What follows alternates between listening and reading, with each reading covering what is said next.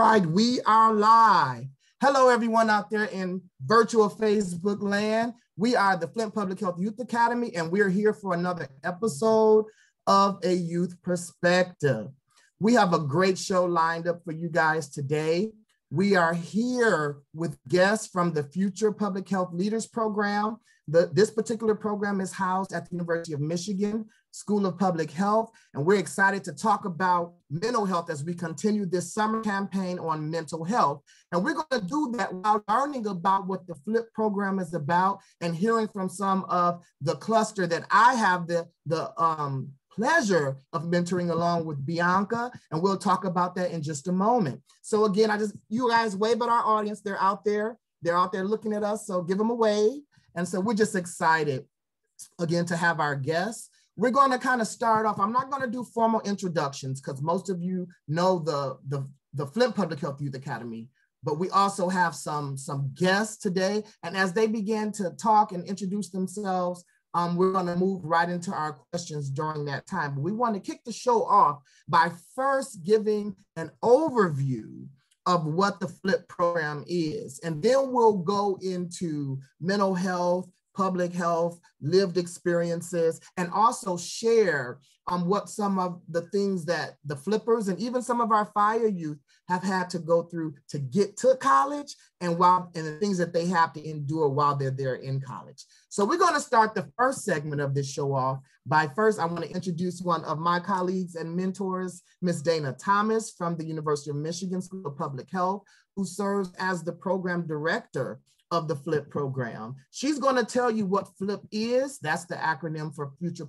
Future Public Health Leaders Program.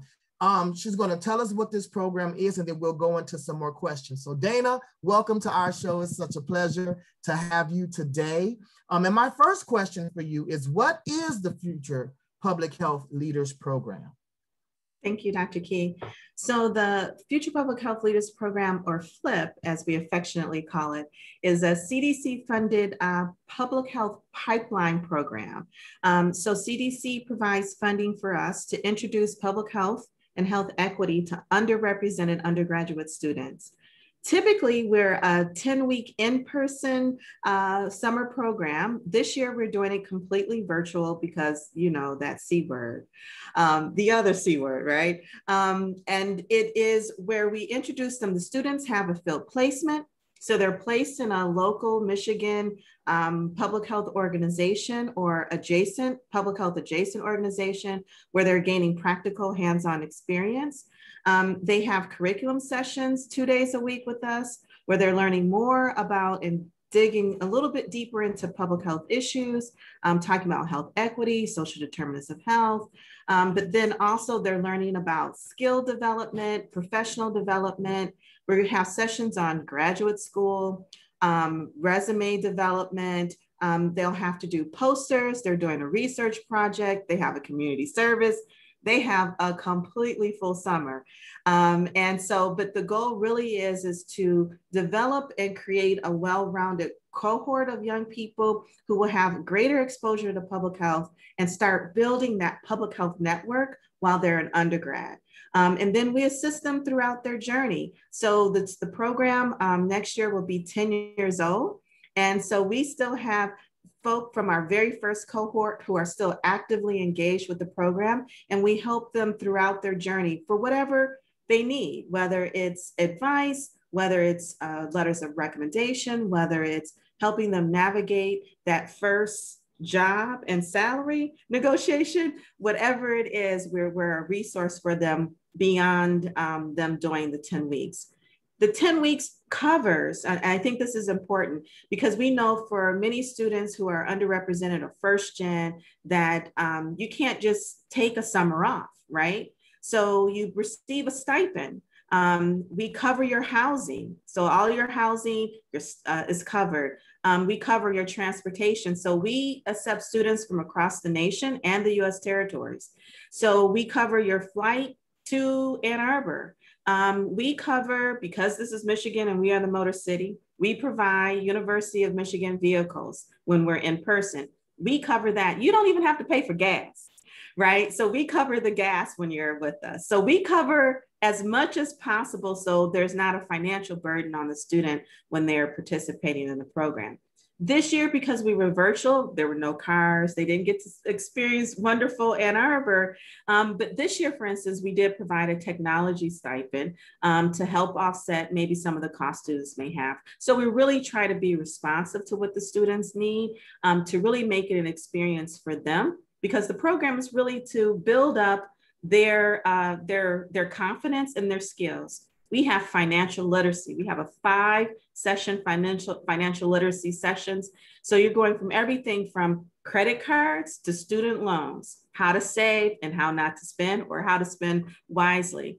Um, we have an embedded mental health uh, uh, coach um, who will work with the students uh, on a variety, whatever they want. We're paying for it. We don't even care who's doing it, right? A student can go as many times as, as, as they need. We know that imposter syndrome is real and many of our students experience it. So that those are some of the things that we want to unpack and address with the students throughout the summer. That was long. You, that was more that you probably that probably answered three questions, right? and I, you did answer like three of them that I have for you, and that's great. And, and and you also talked about the importance of having mental health support for the programs because of the different barriers we have. It could be related to gender, it could be race and ethnicity, your social economic background, level of family support. There's so many reasons why we have um, so many barriers and stressors. And so having that mental health support is great. And we're going to delve deeper into mental health in a little bit, little bit later. But then we want to ask you something really quick. So in your role as a public health director and manager, some of the mental health stressors you encounter doing this work and how do you deal with them? And then we're going to transition to the youth. Oof. Oh, yeah, ah, that's gotcha. a good one. um, I, I do want to say, just wanna, give us one. I want to just point back to the fact that we also have mentors because that's how we have Dr. Key and Bianca Lawrence who also work with the students. So there's multiple touches and I, I wanted to make sure I didn't leave you guys out. Um, wow. So I think that everyone is different and everyone handles stress differently. For me, what has been super important in my career, my journey is that work-life balance. Um, because the job can can can get at you. There's a lot that's kind of happening. So for me it's the things that i'm doing away and making sure i maintain some things away from the job to keep my mental health uh, in balance. Um, and i think that even in your own personal life there's stressors right? So it's things that are not that you can do that just frees you. I know when we were still in person we're at home now which i love by the way I didn't think I was going to love it, but that has been helpful for my mental health. Um, and I think is a, um, a, a, article was shared today around a New York Times article that said that for women of color, working from home has been a mental health grace for us because we don't have to deal with the microaggressions that occur when we're in the office. And so for many women of color, working from home has actually they didn't realize how stressed that they were until they weren't involved in that environment because of the microaggressions et cetera. So there is that balance now. So thinking about the role that working from home for women of color you know it's a double-edged sword. On one hand they're saying working from home can lock you out from from promote from promotion right? Because if you're not seeing forgotten but on the other hand, from a mental health standpoint, it's done wonders for women of color. And this is also, we're talking about um, women who have the opportunity and luxury to work from home and are in that kind of uh, position. So I want to uh, recognize that.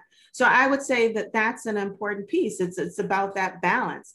Working, I would walk to my car. That was my first part of decompressing from the day. And I tried to leave work at work and home life at home, right? Um, and even for working at home, my son said I had to create a space, a workspace separate from my down space. And that was super important.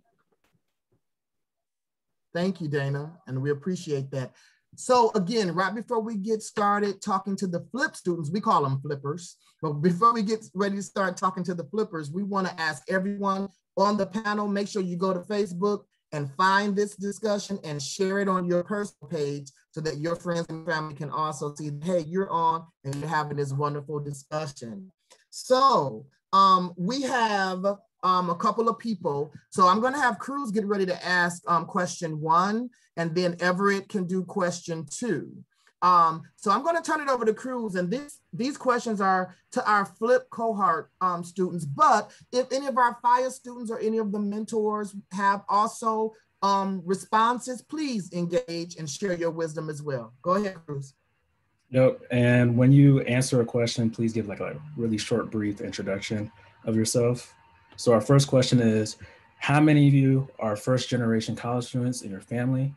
Tell us about what that is like. Are there any pressures associated with that? And how do you handle those pressures?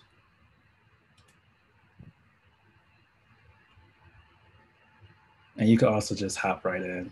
Um, there's no need to like raise hands or anything.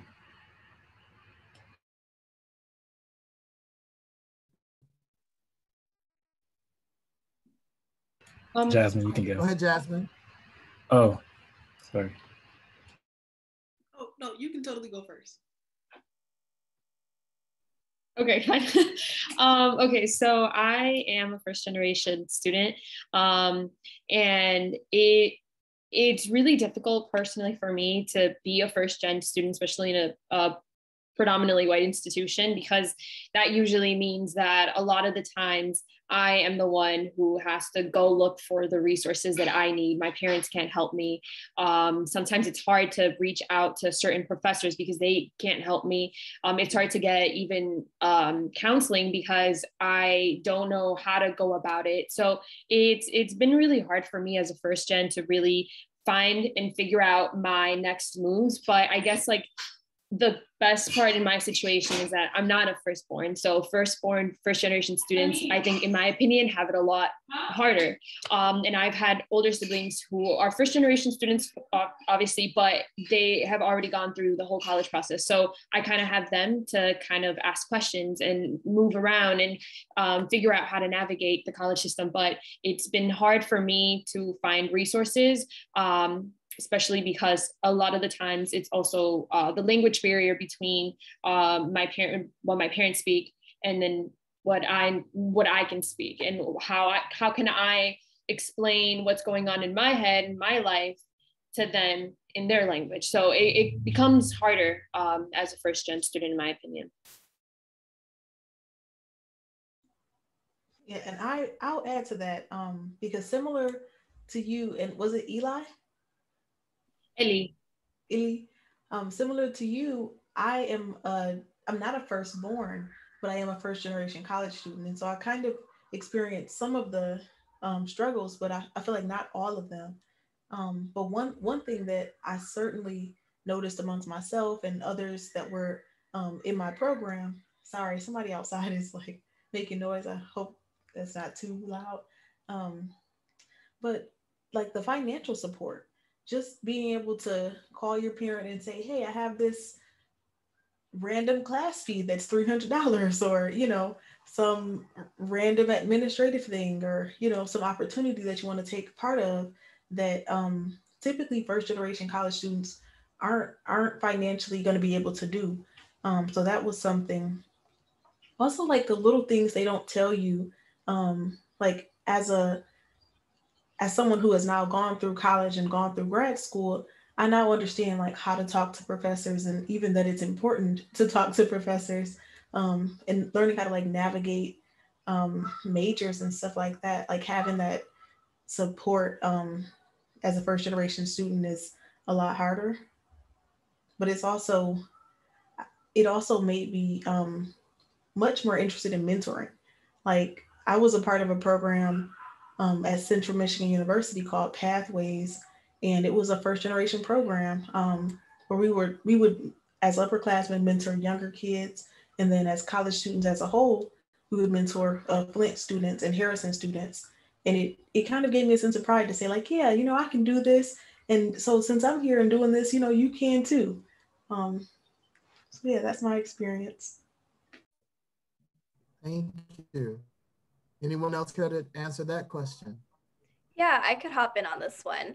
Um, similarly, what um, Ellie was saying, the lack of resources. Also, my name is Natalie. Sorry, let me preface with that. My name is Natalie. I'm a third year student over at Sacramento State University on the West Coast here in California.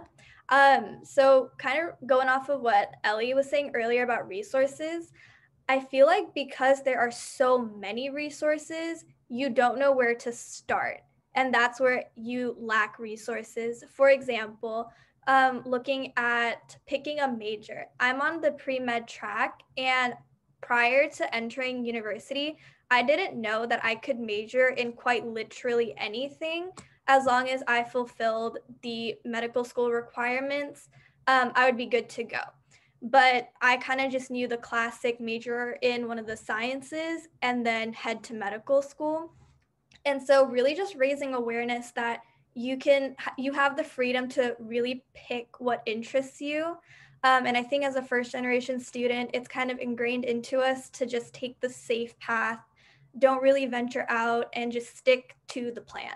Um, but it's okay to be unconventional. And sometimes we face these outside um, stressors like because the because our parents and our past generations they haven't done it because all they had to do was survive and make it. We have the freedom. So it's kind of unconventional and we're going against the grain. And for a lot of um, people of color, you know, this is a very diverse call we're on right now. And so for many of us, it's it's seen as taboo to not play it safe. And so really breaking those um, generational curses or really just breaking the stigma of taking the unbeaten path and making our own. And it's okay to be unconventional. It's okay if it takes you five years to graduate. Um, secondly, not really knowing the path to grad school. Um, for example, in high school, the SAT was kind of just a thing that like I didn't know it held a lot of importance when applying to university. Um, so now I know going forward, like the MCAT is what I'm going to have to take. That's the SAT for medical school and now i know like looking back hindsight's 2020 now i know how much weight the mcat's going to hold. Um, now i know how much weight not only are my scores going to hold but activities are they impactful? Um, and those are just a few of the things that now i get to after going through it i'm going to get to share forward. Thank you. Anyone else want to answer that particular question and we have yeah. many questions. So go ahead, Mindy. Sorry, I just want to add on really quickly. I definitely agree with everything that's been said. And like Natalie said, there are a lot of unique pressures being a first generation student. So I'm currently a rising senior at the University of Southern California, which is in Los Angeles. And I'm a first generation and firstborn student. And so I definitely know the relationship that you have as a student with your parent can be a lot and a lot of the time that pressure is stemming from them. And so like natalie said a lot of the time you have the pressure to go into a really stable career you know the typical doctor nursing engineering lawyer that type of thing. But it is okay once again to go against the grain. You know i was a nursing major and i switched to global health was which was a hard transition but and it was hard for my parents to accept that like you know to be honest but at the end of the day, you're the one that's going to have to clock into the hospital. You're the one that's going to be having to take the nursing courses. It's your life to live. And I know that's hard to accept. And for me, when people told me that, I thought, yeah, but you don't understand what it's like, you know, like you don't understand what it's like to go to my mom, try to explain what global health is. And there's that language barrier, once again, that Ellie was talking about. Like I can't even explain to her fully what it is. But at the end of the day, I made that decision still, and it was really hard. You know, I still think about it. It was a defining moment in my college career, but I'm really glad that I did it because like everyone says follow your dreams like you should actually do that. And it's okay to go into college and go on the medical track because that's what your parents want and then switch on your junior year. Like natalie said stay an extra semester. Like your path is your path first of all. That's all i want to say. And another thing is I think being a first generation student definitely comes with a lot of downfalls, like we've said in the past, but I also think it's taught me to be really independent. I've learned the value of being alone. And a lot of the times, like I go to a predominantly white institution, sometimes I don't want to be around those type of people that can't relate to me. And that's why I seek out the people that can. And so if your university offers those resources, maybe like a workshop for first generation students, you don't even have to go there and mingle with the professors or whoever's holding the workshop but maybe if you want to connect with the fellow students so you guys can grab some lunch and talk about your different issues, even things like that help. You don't have to always have it in a structured format. And just, you know, when you get to college, you'll see you'll learn how to be independent and you'll learn how to be okay with that and you'll learn how to make the most of the resources available to you so mindy just dropped a nugget like she just gave us a t-shirt a hashtag your path is your path like that is some wisdom and i had to learn that myself and not compare myself to people who are also um, right, Bianca. She told my story too, right? And so that's that's awesome. Did anyone else want to answer or respond to that question before we move to the next question? All right, Cruz, take it away. Not Cruz, it was it's Everett. Yeah. Everett's question okay. Two. Uh, the question two, this is a two-part question. Um, so first, for those of you who are students of color, what mental health stressors do you face while pursuing your academic career? And then part two of that is how do you cope with those mental health stressors? And then, like he said, you don't have to raise your hand, just get in where you fit in. Yeah, I can hop in on this. Um, oh, well, hi, my name's Nina. I'm a senior at Hampton University. My situation is very unique because I did go to a predominantly white high school so transitioning to a historically black college and university i almost felt pressure like i was not the best normally at my high school i was the only girl specifically the only black young woman in all honors and aps graduated top 5% of my class and then transitioning over to hampton everybody was like that so for me it was almost like imposter syndrome automatically stepping on campus and being like wow i am not different whatsoever I don't stick out in any way. And it was really daunting, especially freshman year when I unfortunately was like five hours away from home and I didn't really have the safety net of going back home to people who I was extremely familiar with.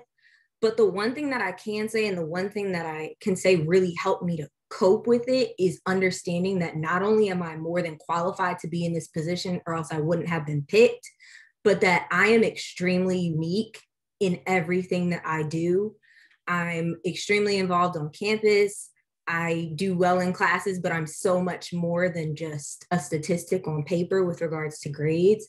And understanding that and surrounding yourself with people who understand that as well once you transition into college is so helpful. Yeah, I'll jump in.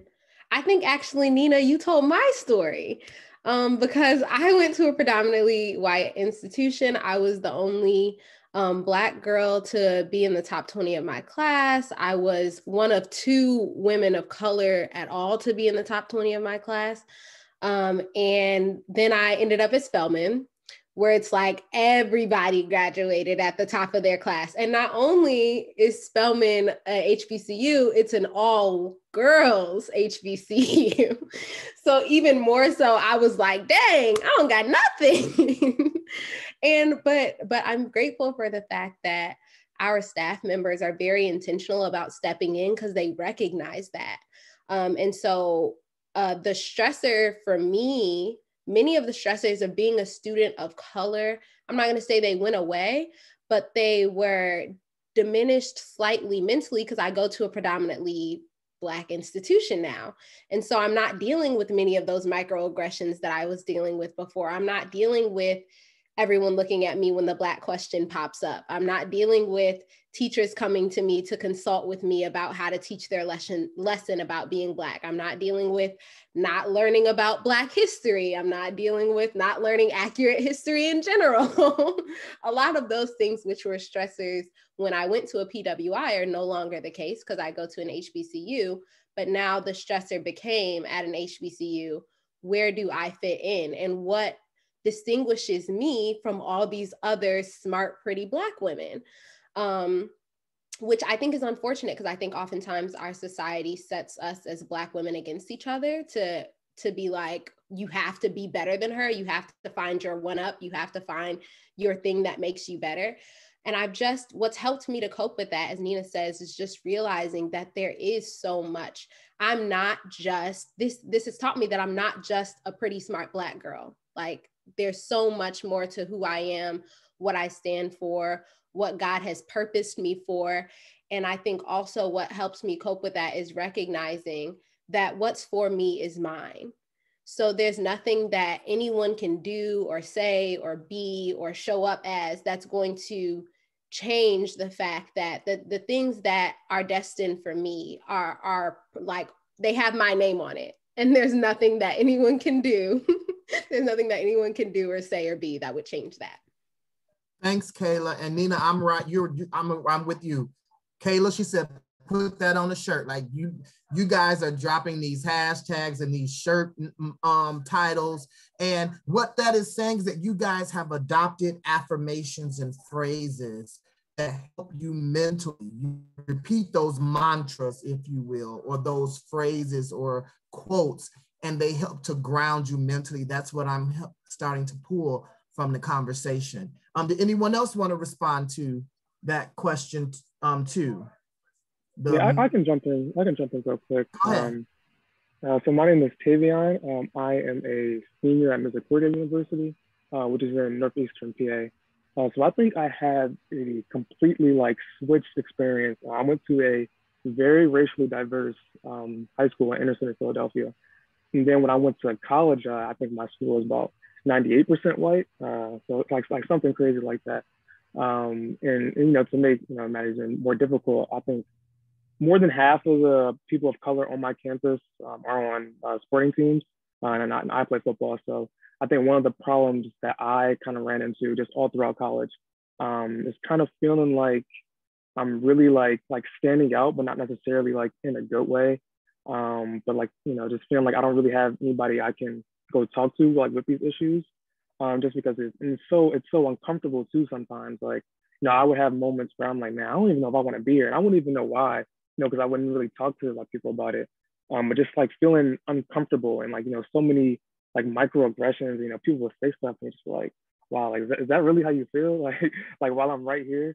Um, and I think that was really tough for me because I just felt like I really had nobody to go to. Um, so like, I guess to kind of switch over to how, how to like, how I kind of cope with that, I actually started a Black Student Union um, very recently, like last year. I, I co-founded with someone else and what I want to do was really like create a space for people who are going through those similar situations. Like, like just talking, like just I feel like just talking to other people about the things they're going through um is so powerful and it just helped me out so much. That's kind of why like I wanted to start um like to start that kind of environment for people.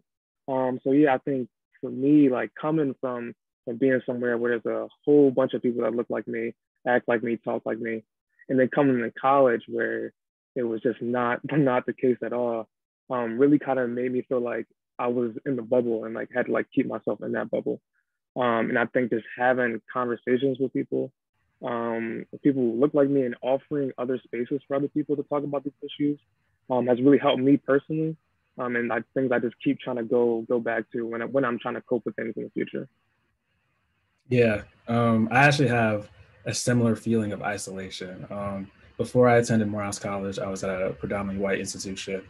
Um, and so uh, I had transfer credits to get to Morehouse. But while I was attending um, the school that I was, it, it, felt like there was this sense of, you know, there's not really a space for me. It's like I was tolerated. Um, you had that airy feeling of where it's like, okay, they want to take my money. Um, but besides that, it kind of feels like this is not necessarily a place that's trying to nurture me or trying to fulfill or cultivate the type of things that I desire. Um, and similarly, the way I kind of resolved that was going to these spaces like Black student unions where it felt like I could be acknowledged or have that sense of home. Uh, crazy enough, this this institution was in a predominantly Black city, but in that moment, it felt like I wasn't. Um, and it's that crazy feeling where it feels like you're almost trapped.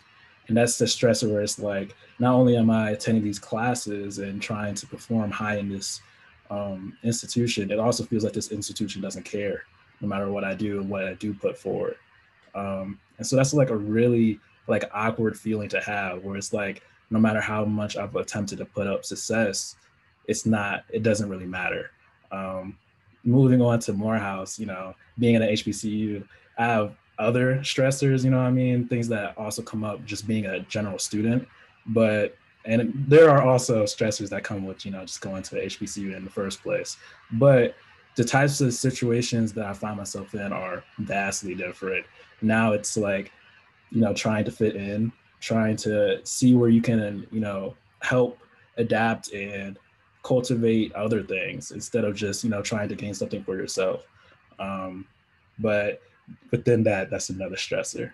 But that's basically it. Um, that feeling of isolation, I think, is something that a lot of students of color kind of have an issue with.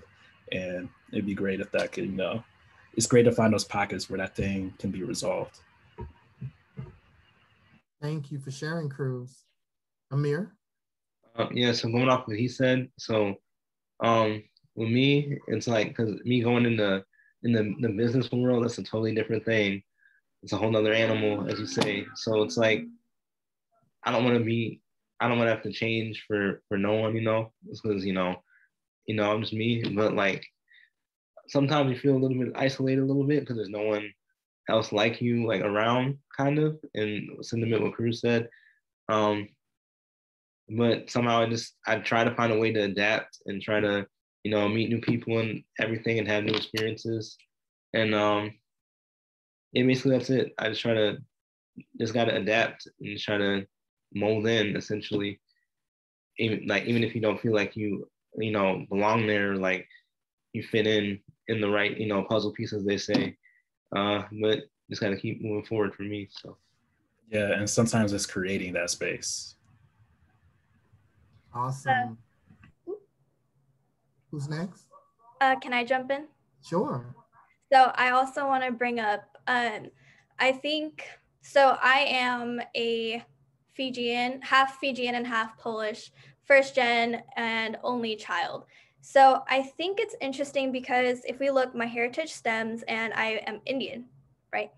Um, and we are known, anyone Asian, South Asian, we're known as like model minority. And I think what I kind of learned being in university is they'll give you enough, but they'll still not give you enough to level the playing field right? So I obviously cannot relate to anyone who goes to an HBCU, members of the Black community. I can't relate to you guys as much, but know that there's still a bit, right? And that is like, how do I say this? So I'd like to go to medical school. And we know that medical school is for the top bracket, tax bracket people who make the money, who can afford MCAT prep courses, who can get into these like these letters of rec from really top people and getting into these research institutes straight off their freshman year. Um, but I'm given just enough financial aid, given just enough opportunities, but not enough to where I can climb and be at the top. And so that has honestly led to a lot of imposter syndrome um, because because being a model minority, I was only given enough to where I'm like, I don't deserve to sit at this table. And so I've kind of switched my mindset to be like, no, I deserve to be at this table and I deserve to eat here. And I'm sorry, but actually, you can get my water for me because I am here just as much and I deserve to be here. you guys are awesome. No, but truly, like I, I deserve to be here, and I will get to the top and eat at the same table as everyone else. And I can only hope that I could reach my hand down and pull other people up, because as a model minority, I don't think that. Don't literally just don't oppress us enough and be like, look, we're giving them enough and they could do it, so why can't you guys? Don't use us as your scapegoat. And I feel like as the entire government institution, that's what they'll do. They'll use us as a scapegoat, and that's not right. And she drops the mic, literally.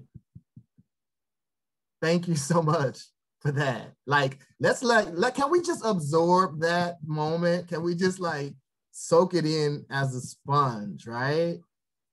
Because there's tricks to this stuff, and we got to be cunning enough to identify the tricks of the trade, right? All right. Wow. Kayla, go ahead and take us into that next question, girl. Sorry, I was still basking. She said, get my water. Not not only give me a seat at the table, but get my water. And that love that. Love that. Um, so our next question for you all is how do you deal with balancing your school life, balancing your school life with your social life or family life? And has that been a challenge? Man, oh man. Um, as a Hampton woman, the culture of Hampton itself is so unique in the sense of you you're literally expected to almost be the head of multiple organizations, kick butt in all 18 credits, have a decent social life, somehow manage a job, 8 hours of sleep, eating healthy and staying at the gym. And somehow you're I don't know how people juggle it. I don't know how I juggle it. It's been a very big struggle. It was actually one of the biggest contributing factors as to why I almost like tanked some of my grades freshman year because I was so excited to just want to get involved and want to jump in. But I think it's extremely important when you go to school to really understand yourself and understand that your needs and the why you're at school are always going to come first with regards to balancing. I know for me, my parents just sat me down and they were like, We are not paying this large tuition for you to just go to school and fail. Um, and I think it's extremely important to also be sure to make sure, like, of course, it's nice to join clubs and organizations, but also understand you don't have to be the head of everything. You don't have to do 10 billion different things and wear 10 billion different hats to feel validated do what you can and do what you enjoy. Um, I had to cut down on a lot of my leadership this upcoming year because I knew I wanted to just enjoy my senior year and I didn't want to be stressed out. And that's completely okay. If you want to be super involved, do it. If you don't want to be super involved, do that too. But at the end of the day, just make sure you're doing it for you, make sure that you're doing it for the right reasons, and take care of yourself. That's the most important part.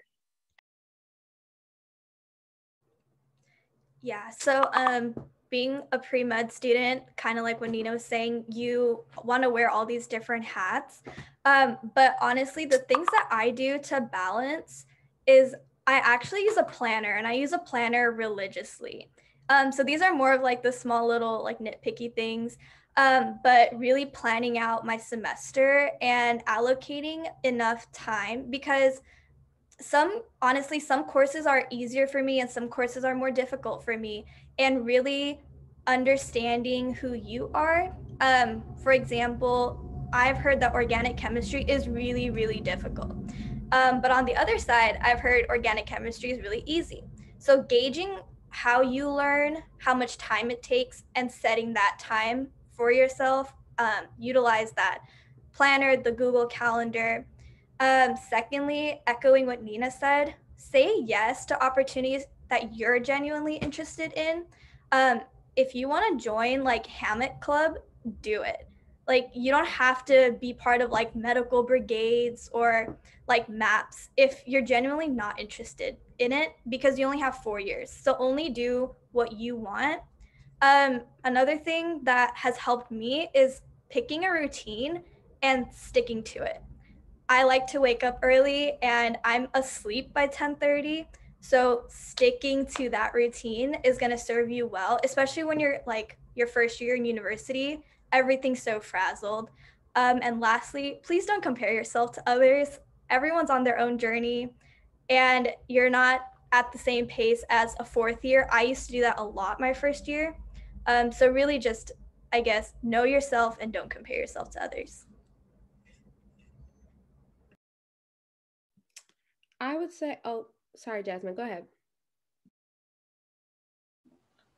You sure you wanna you wanna even say your thing? Okay. Um well one well I have a few things.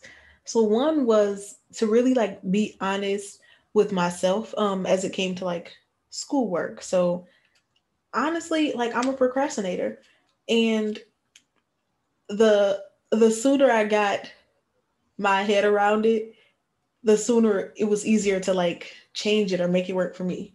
Um, so what I mean by that is like Natalie, like I am a planner. I have my Google calendars, I have my physical calendars, I have my different colors, and I will, you know, do the whole thing.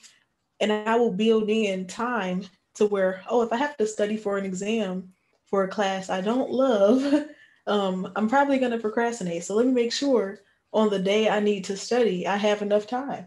Like, I'll just plan it like that. Or for like self care, I'll block off my time with myself. No, I'm not available. I can't talk. I can't do anything else because I'm I'm with myself. Um, as far as like the activities, because I, I I was one of those people that was in a lot of activities. I only did things I loved, um, so it didn't feel like too much work. Um, like one of the most time-consuming things I did, um, and I would say in undergrad and in grad school, was work with like the Black organization. So I was, you know, part of NAACP in undergrad. Um, at Harvard, I was the like leader of the Black Student Health Organization, and it didn't feel like work. It felt like, oh, I'm hanging with my friends, and I'm, you know, spending the university's resources to make sure Black students have what what they need. Um, so it was like fun. Um, I made sure I communicated with my family because, like I said earlier, I have 11 siblings. So I made sure I like would you know group text people or try to have like three-way phone calls or let people know like I'm not available, but I love you, you know? um, like you might not understand what's going on, but you know, if and when you go to college, you will. And, you know, just kind of leave it at that. Um, I was I was a student who always had to work um, while I was in school. So I would I would always like have a diversity related job and then have a research related job because of the field I was in. But I would always make sure that my time could be flexible, um, just so that if I'm like overwhelmed or stressed out, I can just like not work that day. And somehow it, it has worked. Um, and then sleep. Like I will not pull an all nighter. Like Kiera can tell you, because we we would we would study together often, but I will not pull an all nighter. Like it's never been worth it for me. Um, and honestly, like your sleep is the most important thing you can do for your health, um, for your body, for your mental health. And I, I'll sleep. Yeah, so I they've already dropped so many gems. So I'll just add really quickly. Um, those who know me know that I keep myself busy even when I'm not trying to keep myself busy. I keep myself busy. Um, and so there have been a couple things on top of, I mean, just just definitely second everything that's already been said. But then there are also a couple things that help me. Um, one, I would say I'm almost the opposite of Natalie in that I can I hate routines. Like I think it it makes me even more miserable when I do the same thing every day. So I'm intentional about making making sure that I can like okay, if I need to alternate between tasks or I'm going to spend 30 minutes on this and then an hour on this and then I'm taking a break. Like, because I cannot, I just, even as an, an honors student or whatever, they, they swear we study for hours and I can't. Like, I lose focus and then I'm not hearing anything that I'm learning anyway. So I would say that's one thing that's really helped me is finding ways to create spontaneity whether that be like i said i'm not going to do all maybe i'm not going to do this assignment all at one time. I'm going to do this a little bit of this a little bit of that a little bit of that and then alternate that way. Something else that has been helpful for me is um, i communicate with all of my bosses and all of my teachers and all of my friends and everybody and I tell them when I'm overwhelmed and when I'm having a hard time and when it's like, yeah, I don't think I can show up in these ways. And I'm very transparent about about that. Um, and sometimes like they'll or or sometimes I even have people in these organizations. I'm I've been very grateful blessed to work predominantly with nonprofits throughout my career. And so nonprofit workers usually are more understanding and empathetic in those cases. So I have people in, in most of my jobs and in most of my obligations that even will check on check in on me and be like, Kayla, you're doing a little bit too much. Maybe you should slow down. maybe you shouldn't lead. Cruz will check in on me and be like, maybe you shouldn't lead the third talk show in a row. Like that's a lot that's a lot of work. um, and and so that's helpful. Like one being able to be authentic in the spaces that you step in um, i feel like any space that you're not able to tell them i mean other than classes because i know professors don't be caring for real but i feel like any other space that you add to your um, that you add to your plate if you're not able to tell them I need a break, then you shouldn't be there because you're not really appreciated and nor is your mental health and nor is your energy. So like you you should be able to say that. And then I think the last thing that has really helped me, and this sort of ties into the last point, is um is reaching out to people who I consider to be wise um, and asking what they did. Like how did how did you balance this? My mom actually got a master's degree uh, went all the way up to getting a master's degree. So talking to my mom, like my mom was in college with five kids. How you do that? That?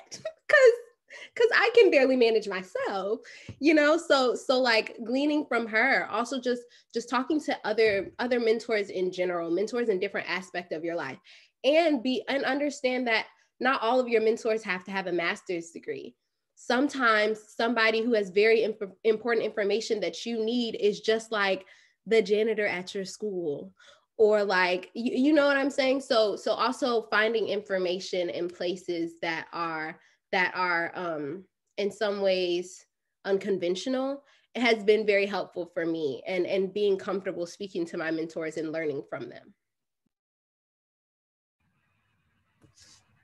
Thanks for sharing that, Kayla. Anyone else want to respond? Does anybody else want to go? Because I slide in here and then slide on right out. Um, the common denominator, at least from what I'm hearing and what I also agree with, is comfort. A lot of that is what matters. Um, you have to find, you know, what works for you. Um, for me, I am the opposite of Kayla in a lot of ways, where it's like, nah, uh, I got these obligations and nothing else because I need my me time. Um, I, I totally felt whoever said it earlier, like with sleep. Oh yeah, I think it was Jazz. Um, the eight hours is important, like so crucial for me. Um, I turn cranky. I, I can't deal or cope with people if I'm, you know, irritated or anything like that. So it's like, nah, for me to deliver the best person that I can possibly be, whether that being, um, you know, paying attention and being active in class, whether that's being in different programs and clubs that I'm in, you know, to for me to deliver all of that in the way that I want to, I had to like have that self-concern and comfortability there. Like I don't go to things unless I have a calendar invite or like something like that for it. Um, unless it's just like a spur moment, like I chose to do it, like I'm comfortable. Nah, if it's not in my calendar and you told me like 30 minutes before, I can't do it. Sorry. can't do it. Um, but it's it's having those type of energies and things that help you, you know, feel comfortable and help you operate in the best ways possible. That's what's really going to be important. And for everyone, that's different. Um, whether that's taking self-care time to be like, yo, I need to meditate, zen out right now, or do some yoga, um, whatever it may be, um, find what that comfortability is for you. Thank you so much. So we're going to transition into our next question. Ever Yeah, um, and just briefly before we switch to the next question, I just wanted to thank everybody um, who has been dropping all this knowledge so far. As someone who has not made it to college yet, um, it's just amazing to hear all of this like great advice, great knowledge that y'all are sharing because I'm not gonna lie, it's scary. Like I'm afraid to like take to that next level because I'm not really sure what's there.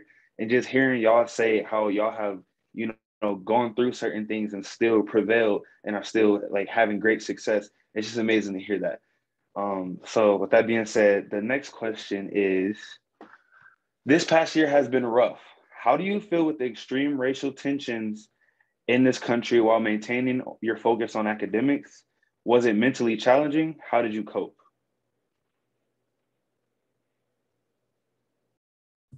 That's the heavy one. Okay, yeah. All the racial tensions that we dealt with last year. Go ahead, Amir. Mm-hmm. Uh, so me, like when I um, I was just finishing up my, you know, like second year, you know, it's like, like well, actually in the freshman year, but it's like it was just crazy. Like the like the the tail events that happened, like like you know closing down, shutting down everything, and then to have you know the whole George thing, you know George Floyd thing happen. It was just my mind was like very very overwhelmed with like everything. It was just filled up with so much, like anger, sadness, all that, and was just like it. I felt kind of really hard to you know focus on my work because everything that was going on in the news cycle. It was really hard to keep your mind focused on one singular thing. So with me, I tried to, you know, cut the TV off once in a while, to sit there and just try to, you know, rest. You know, I'd say like eight hours of sleep. That's the, especially during that time. That was like real crucial to keep your mind fresh and keep it from, you know, going into, you know, depressing moods sometimes. You know, seeing different things happen to people, which should not be happening at all, and it's not right. But for me, it was just sitting there meditating and you know trying to think of stuff and for me personally, reading the Bible, all that type of stuff. So uh, for me, that was important in that time. Thanks, Amir. Anyone else? Man, um, I think this past year was extremely trying. Um, especially Hampton did the entire year virtual. So even though normally on my campus, events like this are always a topic of conversation. And I love that Hampton is such a safe space for me coming from a predominantly white area to be able to openly talk about these issues and get my anger and frustration out. This past year was very trying. Um, it psychologically messes a lot of people up to continuously see Black bodies being put on the line when they shouldn't have to be. Um, rest in peace to George Floyd as well as Breonna Taylor. It was it was a very traumatic year, and I'm very appreciative that my university took a lot of steps after a lot of those events to really provide mental counseling, to provide us safe spaces in classes in order to really be able to get our anger and frustration and even fears and worries out as African American students. And myself included, as well as like a bunch of my friends and colleagues and everything, we really had to engage in self care that looked very different than what the aesthetically pleasing definition of self care looked like self care during that time wasn't, oh, let's go to the nail salon, let's go shopping, let's just sleep in all day. It was more of, let's have deep conversations to get our anger out. Let's go to therapy so that we're able to really heal from this. At times, let's completely get off of social media. Let's get away from the news because it's very traumatizing to watch that over and over again, all on the news, every single news channel. And even though this year was trying, I'm very happy that there were a lot of things put in place to kind of recover, if that makes any sense. Yeah, definitely. Um, reflecting back, because I also was just finishing up my first year of university, and I can't believe the next time I'm going to be on campus, I'm going to be a third year. Um, but looking back, I just felt like it was one thing after another after another um, we had the Black Lives Matter movement kickoff. And not only was that gaining more attention, but the death toll from COVID was rising at the same time. And it's like, well, we need to get out there and have our voices heard, but at the same time, we're still spreading the virus. And it's like, what do we deal with? We're not only dealing with the death count from COVID, but we're dealing with the death count of people of the black community and for what? For skin color? Like as if we don't bleed the same blood. And it was frustrating as like a person just watching it on the news every single time. Like nina said it's everywhere you turn. I got tired of reposting flyers on instagram and forwarding donation links to literally everyone in my contact list. So i really had to take a step back and just understand that I am doing as much as I can in this very moment and being the best ally and friend I can be to anyone and everyone. Um, but not only were we dealing with that, but we were dealing with an attack on women's health towards once it was near um, election time. Planned Parenthood was being attacked. And for a while, I genuinely, and I've never been scared for my own like rights as a person in the United States, until our last presidency. And especially when we were on the verge of reversing Roe versus Wade. That was terrifying for me because I was just like, how are we going back in history? We're supposed to be progressing from such a like nation that prides itself on equality and equity for all people that includes all genders and skin colors. It doesn't seem like that right now. And of course, bleeding into 2021, there was a direct attack on democracy. And even bleeding into 2021, I was scared that, you know, everything, the safety was going to collapse. All the progress we made was going to just relapse. And so, really, just understanding that I'm doing the best I can. And despite like, I'm a pretty high achieving individual, especially in school, and understanding that, like, okay, getting that 80 on the exam was not the end of the world. Getting a B in the class is not going to tear all my chances away from medical school because look at all the things that I'm doing. Um, one way I coped again was I also created a blog and I was really like voicing everything on there. I took a linguistics class and I really understood the power of language. And one of my favorite posts was how the power of language affects communication towards everyone and really just like pressing that and allowing people to like send in their thoughts and creating a platform where I could voice other people's opinions. And yeah, so just taking a step back and understanding I'm doing the best I can. Yeah. Um, oh, no, go ahead, Tavion. Yeah, I was just going to jump in really quickly, like just to add to all the great things um, Natalie and Nina just had to say. Um, but yeah, for me, it was definitely a tough time. Like, you know, especially you know being black, of course, on an all-white campus, where people don't necessarily think you know similarly to what I do, and probably not like uh, how y'all do either. Um, but like just a, like a little bit thing that something that's really helped me is you know of course I love like having these type of conversations. I love informing know, people who may not be aware about these issues. Um, but something that really helped is just like recognizing that I don't always gotta be that guy. You know what I'm saying? Like I don't always gotta be the person that's that gotta educate everybody about this issue, especially just because I'm one of the, like a few black people. I don't gotta be that that token black person. You feel me? And I think that um that that really helped me. Like saying like I don't I don't speak for all black. I don't speak for all black people on this campus. You know what I'm saying? So like and just recognizing that like we all play like a small part into this progress. Like it's not just one. Of course, you know, like specific people who have like significant roles, but it's not just like us changing the world, like you know, by ourselves. Like, like it, takes multiple people, and just to accepting that like I'm not going to change everybody's mind all the time right now, but that is is is multiple steps in this, and I gotta work with other people. So I think that's what really helped me out, just understanding that I don't gotta be that guy all the time. Even if like people in the administration are like coming to me like, what do black people think about this? Like, listen, like I can give my input about what I think, but like, like it's not like you feel me? Like it's it's all of us that's, that's really taking a part in this. So, so just understanding like and trying to balance this has really just helped me, you know, balance with you know my life, education, and what all the events that have been going on.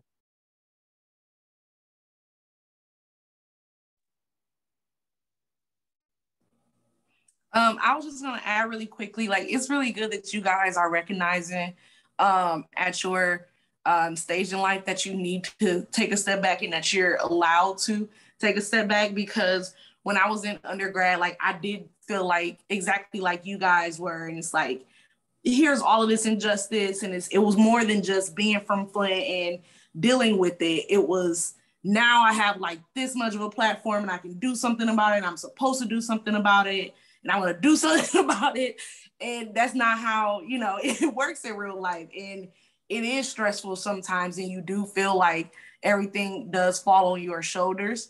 And so this past year, it's been completely a step back for me. That's why I feel like I was so eager to engage with you guys because this is a way that I can um I feel like do my part without being stressed out about it because the unfortunate thing is if you go to PWI or if you do, uh, you know, go to a school that is predominantly white in high school, once you get to being, you know, graduated and working, it is the same thing.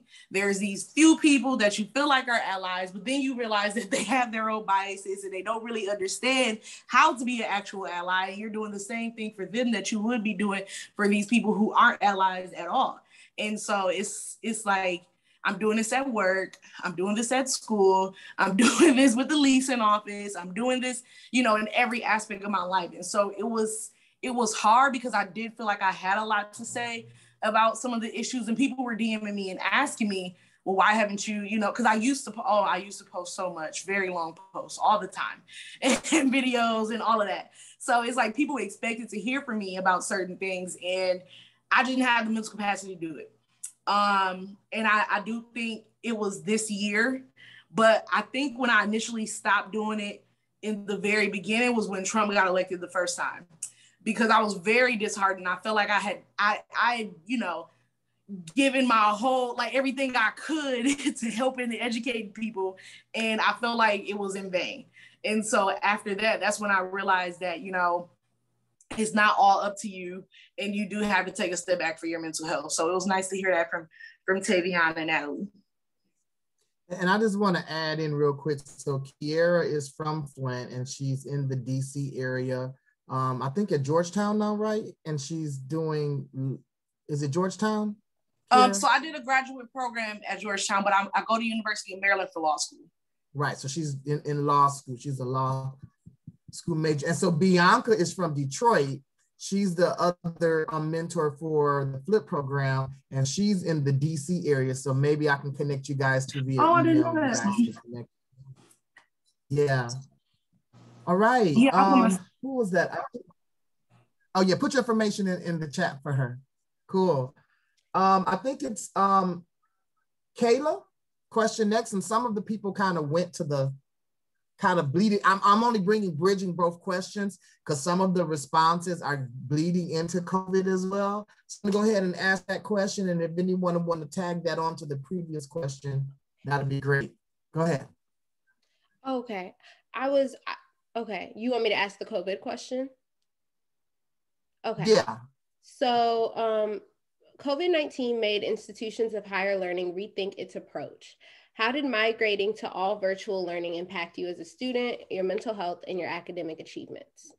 And really quickly, while y'all think about your responses to that, I just want to add on to the last question um, because I think the, I, well, I think one, I want to be very clear in saying I, as a Black woman, did not start dealing with racial tensions when the world realized that it was occurring. So, like, I didn't, George Floyd wasn't the beginning of this journey for me. And I think that should be clear because I think we as a country, because a lot of people are just now becoming aware of this, um, pretend that it started last year. And it's like, no, this happens every year. This happens every month. This happens every day and has been since I was born, since my mom was born, since my grandma was born, since the founding of this nation. We have exploited people of color, more specifically, Black people. Um, and so I've been dealing with racial tensions in my life this whole since I was born. like I didn't just become aware of race or police brutality or any of that. And I'm I'm glad that many people are becoming aware of this conversation, but I don't want to pretend that it started last year. And I know that wasn't your intention, but I want to put that out there.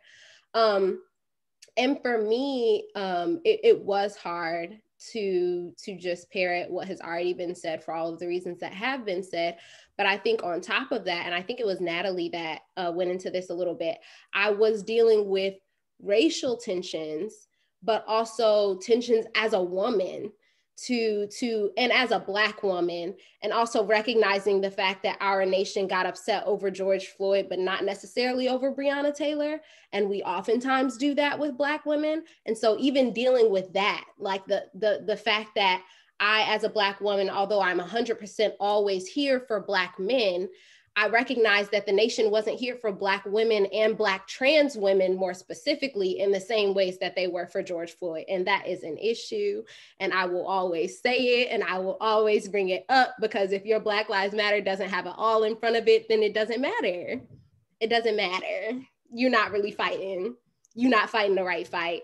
And we'll all still be we'll still all be in bondage by the end of the fight that you're fighting. Because then we're gonna have to go back and put asterisks on it. Like oh when but i also meant and i also meant like anywho that's a whole different story. But um, I, I think it's very important for us to recognize intersectionality and to recognize the fact that like there are communities who are dealing with with with tensions simultaneously and that also impacts the way that they show up in academic spaces um, i did have the privilege though of attending an all girls hbcu and so we were able to have a lot of those conversations in class. And I was able to learn from my professors and from my peers and have those conversations in ways that I wouldn't have been able to at a PWI. Um, and I think that is what really helped me was confronting it. Um, but also, as you all have said, is was stepping up when it was necessary, but also stepping back when I needed to.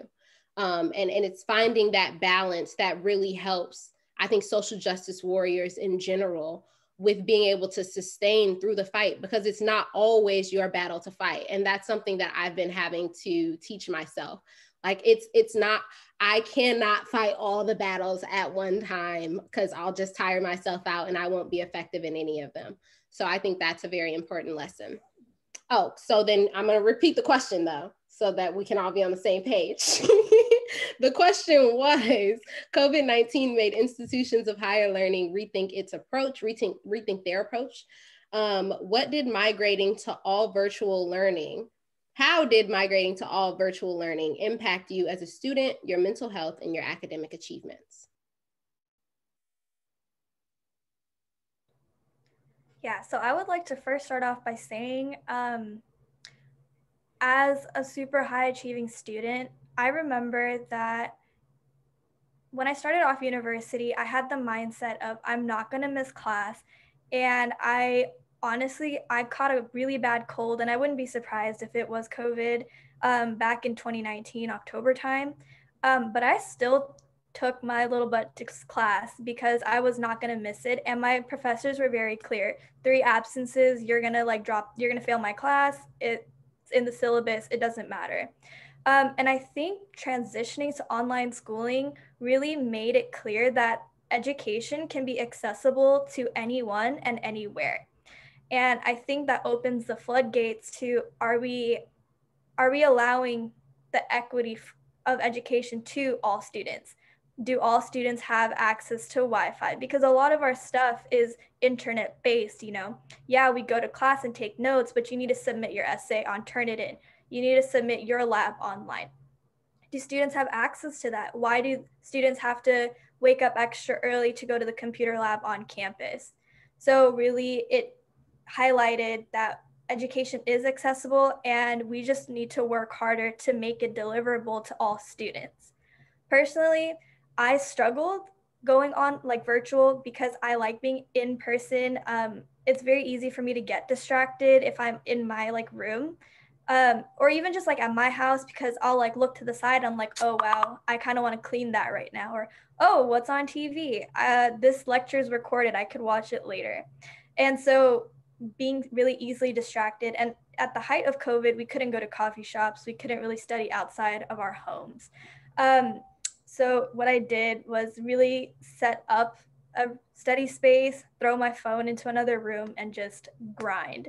Um, one thing I did like, however, is being able to access lectures after hours. Because, for example, if you go to a class and your professor speaks really quickly, or there's like material that's genuinely like difficult, being able to go back and like pause, rewind. And I know for sure when we go back in the fall, I know I'm going to be sitting there at my desk and like pressing my desk, pretending like I can just pause the professor in real life, and that's going to be all bad. So I really do hope that going forward, they still stream lectures or maybe even create a podcast with the lectures um, to make lectures and information accessible outside of school hours and making education accessible to all students like they did. Yeah, I can hop in really quick. And I, I just want to acknowledge everything that Natalie said, and I completely agree with. And I think for me, going virtual was really hard because I was actually a recent transfer to USC. So that was my first time ever being on campus. Before that, I was commuting to school. So I was really excited about getting that experience that all of my friends around me were like raving about for so long. And so when I got there, COVID hit, I had to leave about like a month in. And then I was virtual for a complete year. So, you know, I transferred to the university, but I've only been on campus for about a month. And that was really, really hard. You know, the transition to virtual school, I felt unmotivated and really disconnected, to be honest, because a lot of the learning happens in the classrooms and a lot of the connections you make with other students happens on the way to class or you're leaving the room, you hold the door open, you guys get lunch after. It's little things like that. And so I definitely acknowledge that it is really difficult. But one thing that transitioning to online school taught me is that college is not everything. And that sounds weird. And I don't want to say that college is not important. It definitely is. And it's a great time to learn and grow and experience things. But college is only four years of your life. A lot of you are going to go to grad school. A lot of you guys are going to have amazing experiences after college. And so don't expect, don't go into college with expectations because you're going to be disappointed no matter what if you always carry expectations around you i remember when i went in i thought you know i'm going to dorm i'm going to make so many friends i'm going to party i'm going to do all of these things like i'm going to be a college student and none of that happened. And you know it's fine like i'm still living. And you know what's great about it? I'm excited for after college because after college i'm not going to be lost i'm not going to be regretful all of those things. I'm just going to be looking forward to the next opportunity. So i think that's always a great thing to put on your mind that college is just college and but like life is so much more than that. Um i do want to so this really just struck me as mindy was talking um especially like not having expectations going into university. I'm sorry this is digressing from the question but it's like really important to know. Nope everyone tells you how exciting university is how many cool things you're going to do but no one really lets you in that it's really lonely especially that first year because you're getting to like know everyone your area and adjusting to the environment. You really understand that it's a solo journey take the unconventional path like and i guess because of covid that kind of got stripped away um, all those experiences but just really yeah just really understanding that it gets lonely but you get to learn who you are as an individual and i think transitioning to virtual learning we got to spend time by ourselves and understanding who we are, what we like, what we don't like, what works for us. So we're going to take time for one more person to respond to the COVID question. And then Everett will ask our last question. And when he asks that question, we want to let our guests go first from the FLIP program. And then the fire youth will, fire interns will be able to go, even including the mentors, if they want to respond to that. One more um, response to the COVID question. How did you cope with the virtual learning? Do y'all mind if I go? Wait, no, no, somebody else. Nope. You got it. You got it. Okay. okay cool. Um, so personally for me, I think virtual transitioning to virtual learning was one of the most difficult things I've had to do. Um, I mean, I think I took advantage of when I was on campus, I took advantage of having a desk in my room. I took advantage of being able to walk from from building to building to be able to study there. Um, I took advantage of literally everything that the school offered.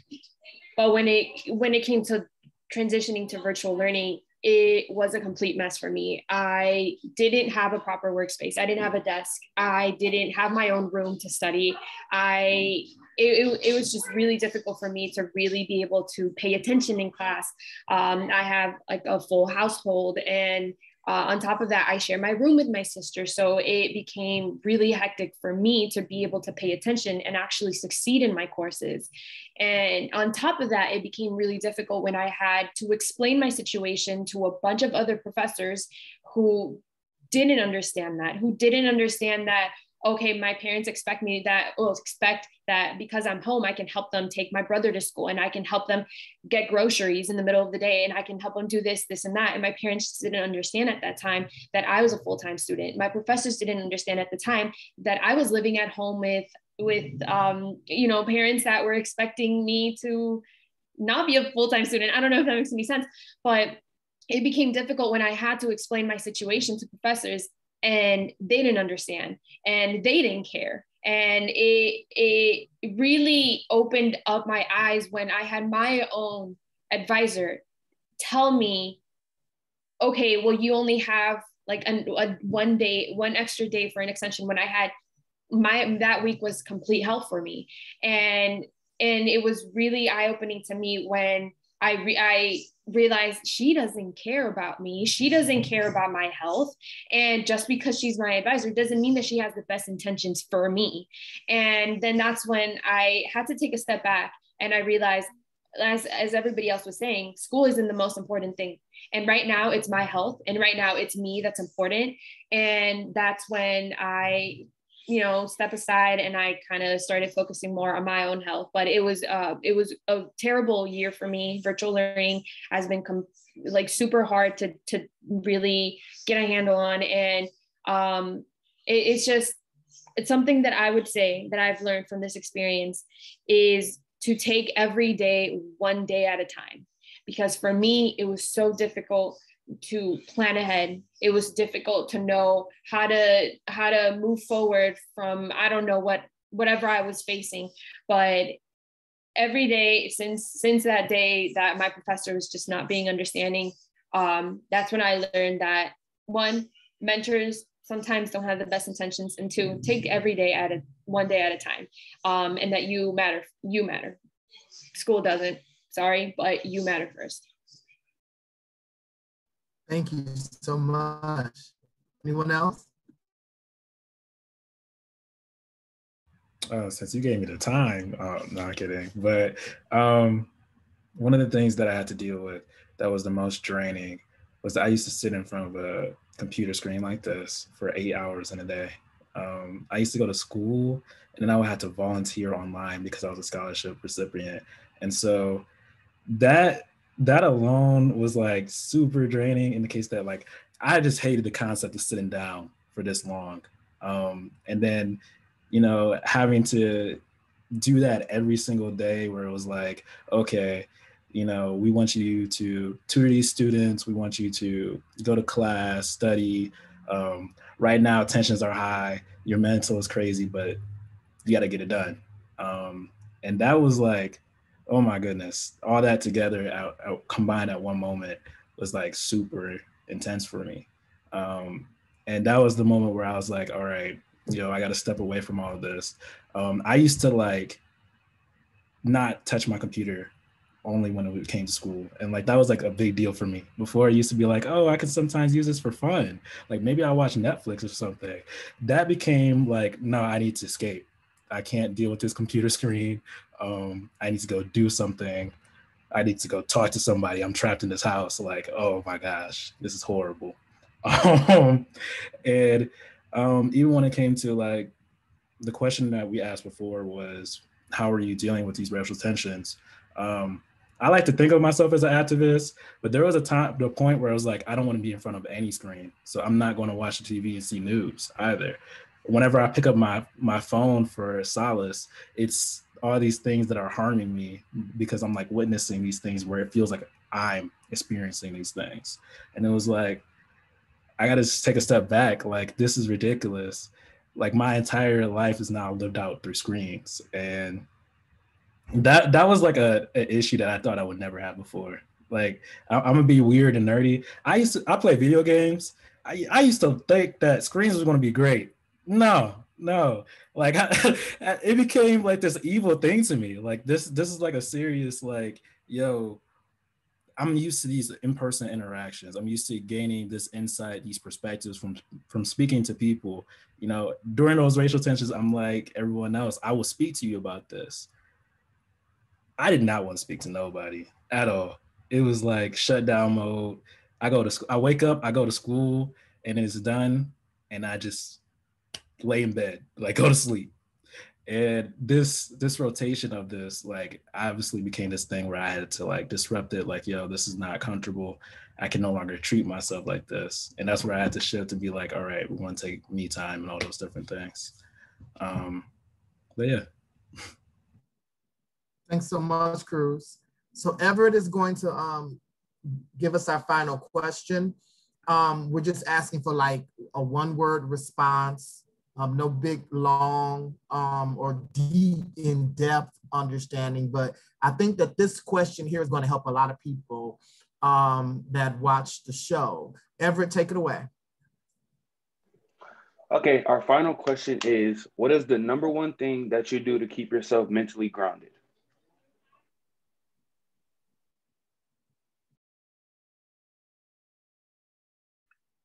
Set boundaries.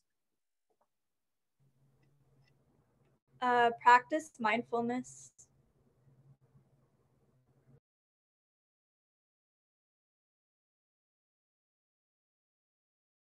I feel like this might be cheating a little bit. Um, but for me, it's like like putting making sure that you're putting effort in like all the different spaces that you need to put in in order to make yourself as happy as possible. I feel like that was like a really like run-on sentence, but knowing that like if it's if that's like you gotta make sure you're talking to your mom every other day, make sure you're going to the gym three times a week, make sure you're you know studying or make sure you're volunteering once a week. But if you have to do like those things, like just know what's best for you and like making sure you're you're checking those boxes essentially.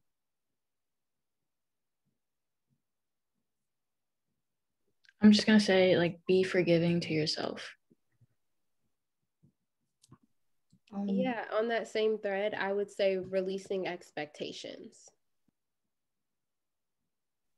And I'll just say putting myself or putting yourself first in times when it really matters. Following that, I'd say um, spending time alone, reflecting, and checking in with yourself.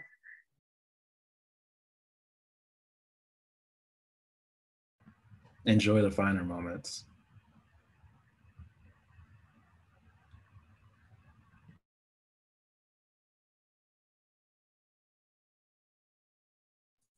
Someone on our in our um, Zoom audience off of Facebook said, pray and having that time of prayer and meditation.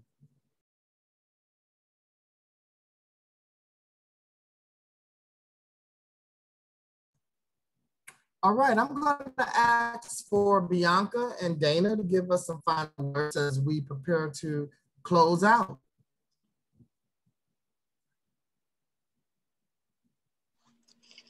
Um, so I'll just say, like, I really enjoyed the conversation with all of you, knowing that many of you are still in school, even though I can't believe, like, I've been out of undergrad almost 10 years. It's like shocking to think about that. but a lot of those things still apply to like things that I was going through when I was in undergrad. And I feel like all of you just have like such a good mindset and you're moving forward in such a good way. And I would say anyone who is listening out there and watching this live or going back to watch this, like just take note of all the things that everyone talked about today. Um, in terms of, especially like the one thing that I want to uplift is making sure that you're really doing things that you find joy in. Um, because I feel like there's always a way to make a career, to make a life about of the things that you find true joy in. Because if you find true joy in it, then you'll always keep searching for ways to kind of build and keep growing and keep doing that more. So I just want everyone to hold on to that. But this was a really great conversation. Thank you, Dr. Key, for inviting us. I'll first start by saying, uh, yeah, thank you to Dr. Key for inviting me and, and inviting the, the flippers. Um, this was a great session. It was it was awesome hearing such wonderful words of wisdom from such young people, right? Um, and I think that you guys have it. You you guys are gonna carry us, uh, and it's exciting to hear um, your your thinking and your thought about all of these topics. Um, two things I, am gonna uh, leave you with. One, um, I did want to acknowledge that 2020 felt more like a watershed moment in our history, in the United States history, um, from the pandemic, Black Lives Matter, the attack on Asians, um, and attack on trans um, individuals. So it really felt as though everything was kind of crystallizing and coming to a peak in 2020 and then uh, carrying over to 2021. And we were all traumatized in 2020. Um, we were all dealing, it was a global trauma. And I do want to acknowledge that and um, how we experienced it. Uh, um, it varies. Um, and, and I encourage people to talk it out. Um, the, the, the last thing, I, I, didn't quite hear that last question, but kind of from the responses. Um, one of the things I want to leave you with is, is the importance of getting lost. That goes against everything you've ever heard in your life get lost and explore. You explore who you are and you explore the world. And it's okay not to know exactly where tomorrow will bring you. So explore getting lost and be comfortable with it. That's kind of weird, I know. But I always say I'm never lost because I just find new ways. And in that exploration of new ways, I find new opportunities and new journeys that takes me into wonderful places that I didn't know existed before. So become comfortable not knowing your way because you will find a way. So I thank, thank you all you, for having me. Um, and this was wonderful. And I know that um, my social security gonna be okay, right, y'all? Because y'all gonna take care of this. Bianca. Um, and again, if you are a a sophomore in college and you're going into your junior year or are a junior, look up the FLIP program at the School, School of Public Health, U of M, um, Future Public Health Leaders Program. That's what FLIP is. Um, this may be a perfect opportunity for you to get an internship with the CDC and be housed at the University of Michigan. We want you to be. However, there are other universities, a couple of other universities across the, the country that also um, are flip sites as well. But this is an invaluable experience. So to our YouTube and our virtual family out there in YouTube land and Facebook land, we thank you very much for tuning in. For those who missed part of the show, we always post on our Facebook page, but we archive all of our shows on our YouTube channel. So that is um, Fire 810 FPHYA 810, our area code. Our, and so on that YouTube channel as well. And you can also see all of our past shows where we talked about our COVID campaign, mentorship. We talked about um, intersectionality. I mean, we you you know we talked about it. The reopening of schools. These young people have been on it and are doing amazing work. So thank you again for tuning in. We'll be here every other Friday at 6:30. You all have a beautiful, safe holiday weekend. Enjoy yourself, and we'll see you next time. Have a good evening.